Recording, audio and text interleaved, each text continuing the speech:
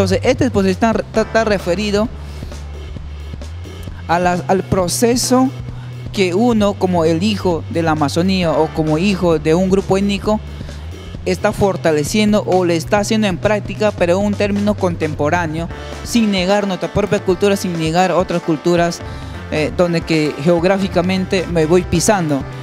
En esta ocasión, acá atrás hay una imagen que se llama oño. Oño son diseños que las mujeres se ponen en el cuerpo para celebrar una fiesta tradicional, incorporando de diferentes animales sus, sus formas de sus pieles.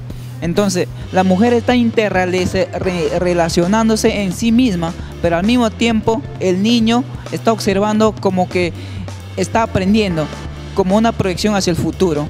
Entonces, el planteamiento que estoy, estoy dando es uno de la armonización, la maternidad y las prácticas corporales que se hacen para un ritual o para una danza tradicionales. Los invito que la exposición Monilla Amena está desde el 2 12 de mayo hasta el 29 de mayo.